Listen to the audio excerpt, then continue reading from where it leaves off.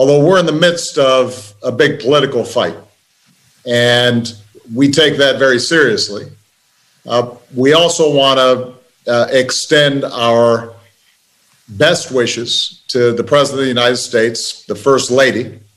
Uh, Michelle and I uh, are hopeful that they and others who have been affected by COVID 19 around the country uh, are getting the care that they need, that they are going to be uh, on the path to a speedy recovery. Uh, and, and it's important, I think, for all of us to remember that even when we're in the midst of big political battles uh, with, with issues that uh, have a lot at stake, uh, that we're all Americans and, and we're all human beings, and, and that we you know, we want to make sure that everybody uh, is, is, healthy. And, and, so we, Michelle and I want to make sure that uh, uh, we acknowledge the President of the United States and, and the First Lady at, a, at, a, difficult time.